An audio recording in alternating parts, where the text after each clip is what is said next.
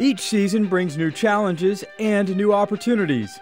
The Virginia men's lacrosse team has been looking forward to the 2016 campaign for months. After a year riddled with injuries in 2015, the return of captains Tanner Scales and James Pannell provide a spark to preparations for the upcoming season.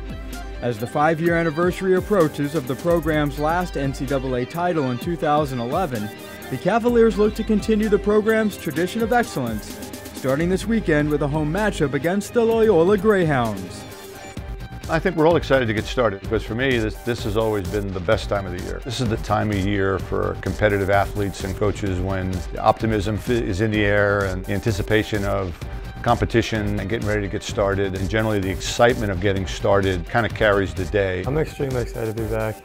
Everyone comes back with a real focus on what we're trying to do here and it's been really good. The energy's been high and I think everyone's just ready for the first game to start on Saturday. I mean, it's exciting, you know, when you come back uh, for the fall semester, I think everyone kind of has that first game in mind and try not to look too far ahead. I think it's always in the back of people's heads that we have Loyola early February. For to finally be here, I think we're always shocked at how quick it comes.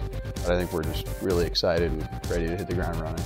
The goals for our program haven't changed a great deal over all my years here. We almost always start out in September thinking that we have a chance to be playing on the last day of the season, on the final weekend. And you know, we were a very young defensive team a year ago. We sort of brought everybody back that started last year, but adding Tanner Scales back into the lineup onto the practice field in particular through the fall, you could almost feel that the first day. Just a sense of confidence kind of lifted the entire group. So I see some of the younger guys that were kind of forced into action last year already playing at a little different level. And, and I think knowing that there's a guy like Tanner behind you, I think really helps your confidence and being able to make plays. And James Pannell wasn't with us at full speed all through the fall, but he was able to be around the field and all. And I think in, in both cases, certainly, good players, leaders in the program, charismatic guys that have an impact on their teammates. I think it's great having Tanner back.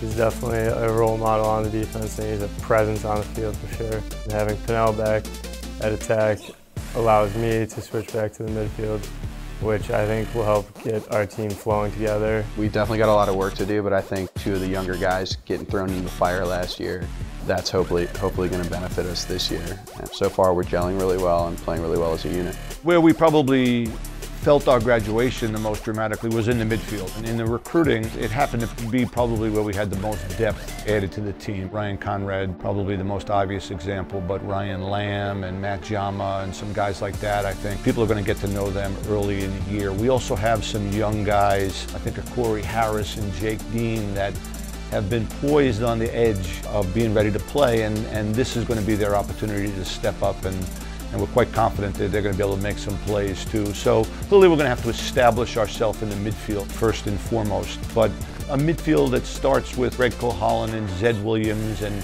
AJ Fish and uh, Ryan Conrad and some guys like that, you know, we feel like we start off in a pretty good place. It's going, to, it's going to be a strength overall, but we certainly have to develop some experience there.